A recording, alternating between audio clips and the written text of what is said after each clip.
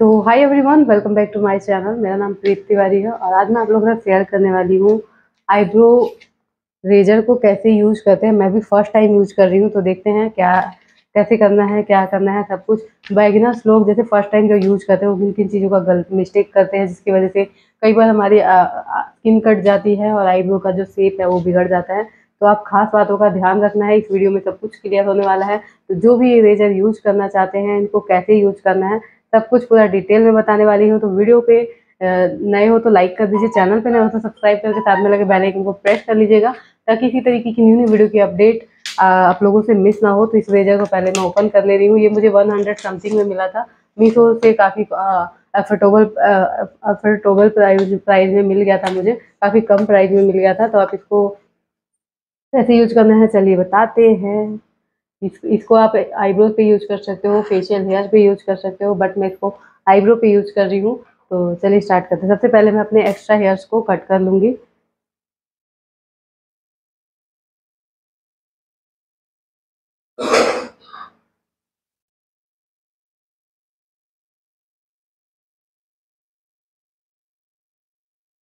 Okay बिल्कुल बराबर में एकदम कट कर लेना है।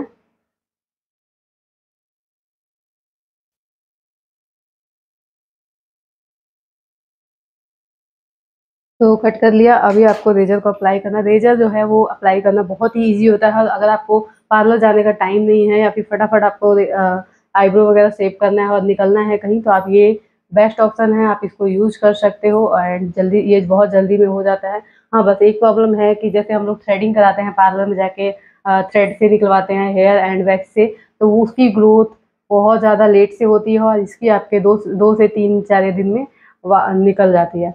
तो अगर आपको ज़्यादा अच्छा चाहिए तो मैं एडवाइस दूँगी कि आप थ्रेडिंग करवा लीजिए थ्रेड से जाके निकलवा लीजिए। लेकिन जल्दी का काम है, आजकल बहुत ज़्यादा बिज़ी रहता है लोग तो अगर जल्दी जल्दी में कुछ नहीं ऑप्शन है तो आप ये यूज़ कर सकते हो। इसको यूज़ करने का सही तरीका क्या है, वो क्लियर करने वाली हूँ।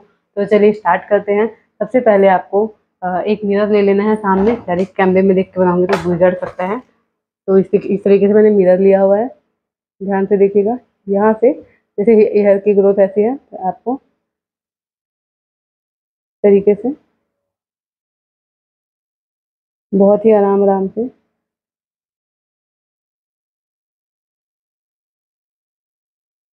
पहले ऊपर का सेप दे देना है।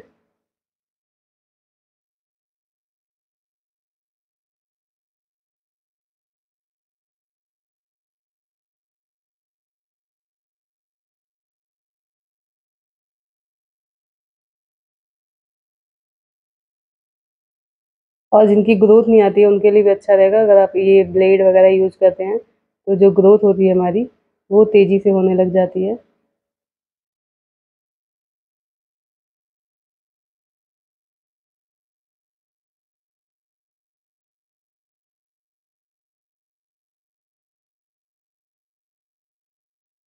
तो मैं भी फ़र्स्ट टाइम यूज़ कर रही हूँ। जो भी बैगिनर्स हैं, ये रेजर यूज़ करने में दिक्कत होती है।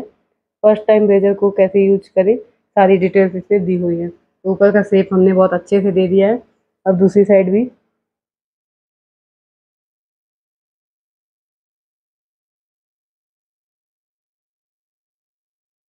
जो हेयर कट नहीं हुए थे, उनको भी इसकी मदद से इजली मैं कट कर रही हूँ।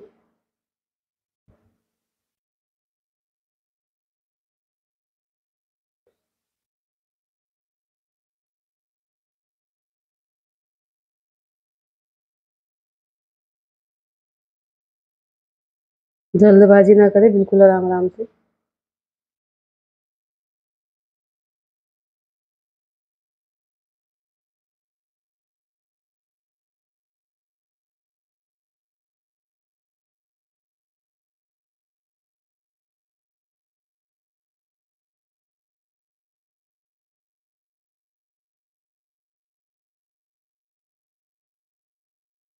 ऊपर का सेप अच्छे से दे दिया हमने।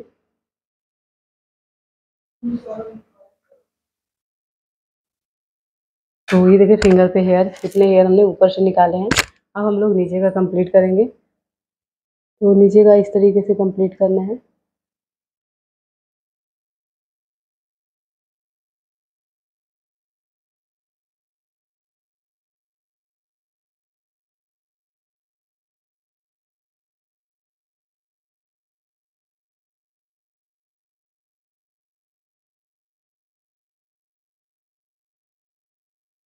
बेगिनर्स हो डियर बिल्कुल आराम से करिएगा। मैं भी फ़र्स्ट टाइम ही यूज़ कर रही हूँ।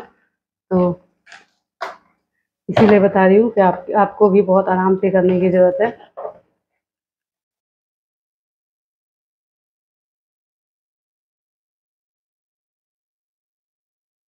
थोड़ा सा कैमरे को नीचे करते हैं। बहुत ज़्यादा गर्मी हो रही है। एंड मैं फ़ैन ऑन नहीं कर सकती हूँ, क्योंकि मैंने जलाया हुआ है दिया। तो आइस को इस तरीके से खींच लेंगे।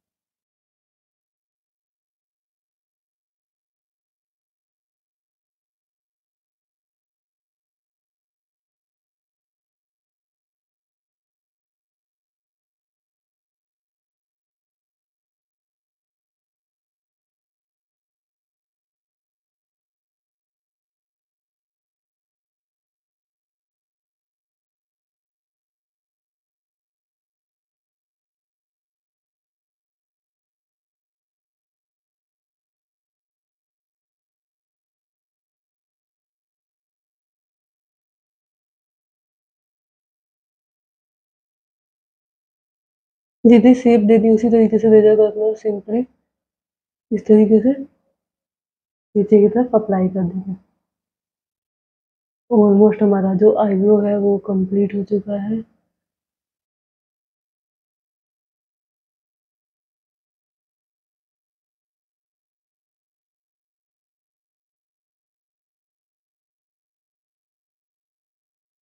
तो बिल्कुल जैसा परफेक्ट शेप चाहिए था हमको, वैसा मिल गया है। एंड हेयर निकल रहे हैं सारे। और मैं मिरर में देख लेती हूँ। वाह तो बहुत इजी तरीका है पार्लर वगैरह नहीं जा सकते हो। तो आप ये रेजर ले सकते हो, इसका लिंक चाहिए तो मैं डिस्क्रिप्शन में दे दूँगी। वहाँ से आप इसको बाय कर सकते हो इजीली या फिर मीशो पे आपको इजीली मिल जाएगा। बस आपको डालना है razor eye eyebrow threading razor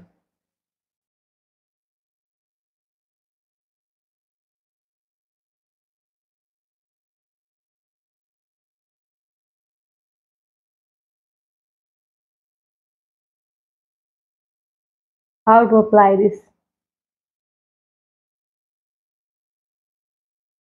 तो कैसे यूज़ करना है, आपको समझ में आ गया होगा, मुझे भी समझ में आ गया, आप लोगों को बताते बताते। तो चलिए दूसरा वाला आईब्रो भी इसी तरीके से करते हैं से तो दूसरे वाले आईब्रो के लिए इसमें थोड़ी ग्रोथ भी ज़्यादा है तो आप देख सकते हो।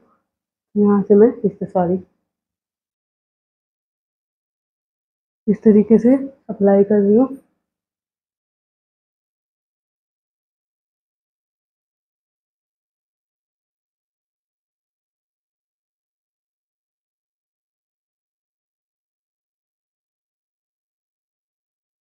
पिन को खींचना मत भूलिएगा, क्योंकि लूज पड़ेगी तो आपको कट लग सकता है।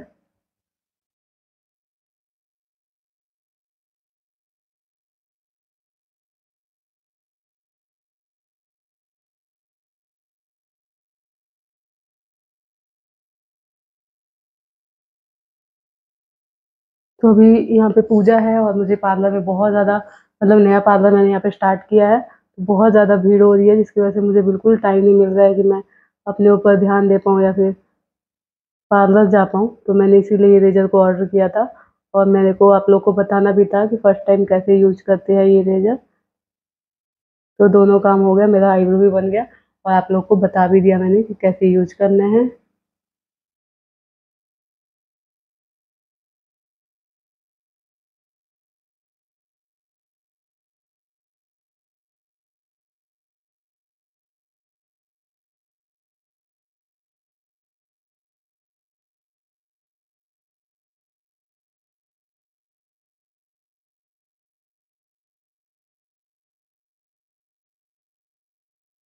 वाह। तो मैंने आईब्रो बना लिया था इस इस रेजर की मदद से। तो कैसा लग रहा है आपको? बिफोर और आफ्टर आपने देखा? और कैसा लगा आपको मेरा टिप्स एंड बताने का तरीका? कमेंट बॉक्स में ज़रूर बताइएगा। चैनल पर नए हो तो सब्सक्राइब ज़रूर कर लीजिएगा साथ में लगे बेल आइकन को प्रेस कर लेना ताकि इसी तरीके की न्यू न्यू इन्फॉर्मेटिव वीडियोज़ आप लोगों से मिस ना हो। तो शेप काफ़ी अच्छा आ गया है। दोनों आईब्रोज का। तो दीपक भी मेरा जल चुका है एंड गर्मी बहुत ज़्यादा हो गई है तो मैंने फ़ैन को ऑन कर लिया है। एंड एक बार मिरर में देखती हूँ, कुछ थोड़ा बहुत भी रह गया हो तो उसको क्लीन कर लेते हैं।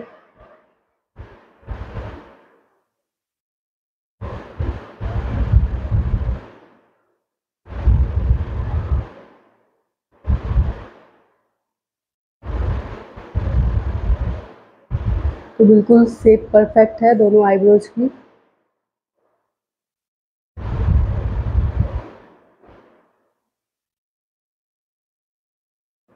बीच में थोड़े थोड़े जो हेयर रह जाते हैं, वो हमारी बिंदी में दिक्कत करते हैं, इसलिए मैंने उसको भी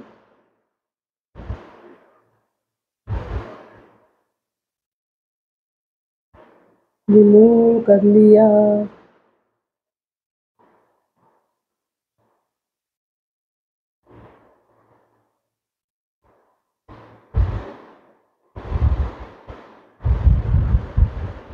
एक हेयर है जो मेरी पूरी लाइन को बिगाड़ रहा है। उसको मैं यहाँ से रेजर से निकाल रही हूँ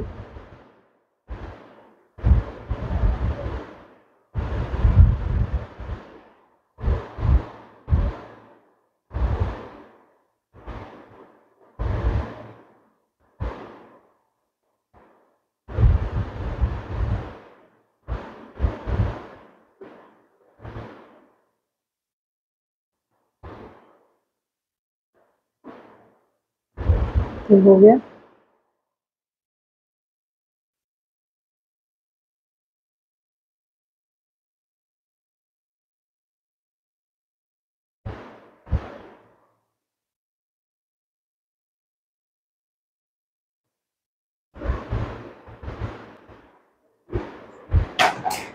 तो गाइज़ फिर मिलते हैं नेक्स्ट वीडियो के साथ। तब तक अपना ख्याल रखें और कैसा लगा ये वीडियो कमेंट बॉक्स में ज़रूर बताएगा तो हाय एवरीवन आज मैं बताने वाली हूँ, ये रेजर को कैसे यूज़ करते हैं? फ़र्स्ट टाइम बैगिनर्स हो यूज़ कर रहे हो तो कौन किन किन बातों का ध्यान रखना है? इससे पहले वाली वीडियोज़ में आपने देखा होगा कि मेरी थ्रेडिंग नहीं बनी हुई थी, मुझे आई फ्लू हुआ था, जिसकी वजह से मेरी आइज़ के आसपास का स्किन काफ़ी ज़्यादा सूज गया था और बहुत पतला हो गया तो पार्लर में जाकर थ्रेडिंग से करवाने पर मुझे डर लग रहा है कि कहीं कट लग जाए या फिर बहुत ज़्यादा बिज़ी लाइफ है तो हम लोग को इतना टाइम नहीं होता कि हम लोग पार्लर जा पाए। तो अगर आपको जल्दी में कुछ ईजी में आपको अपना आईब्रो वगैरह सेव करना है तो ये रेजर को कैसे यूज़ करना है? पूरी बारीकी हम लोग फ़र्स्ट टाइम यूज़ करते हैं तो किन किन बात, चीज़ों का, की गलतियाँ करते हैं क्या क्या मिस्टेक करते हैं, सारी चीज़ें वीडियो में क्लियर की हुई है। प्रीत तिवारी मेरे चैनल का नेम है, उस पर जाके आप देख सकते हो। अगर फ़र्स्ट टाइम रेजर को यूज़ करना है तो किन किन बातों का ध्यान रखना चाहिए? मैंने भी फ़र्स्ट टाइम यूज़ किया और अपनी मेरी थ्रेडिंग मैंने ये रेजर से ही बनाई है तो आप लोग भी जाके चेकआउट ज़रूर कीजिएगा। Thanks for watching love you all bye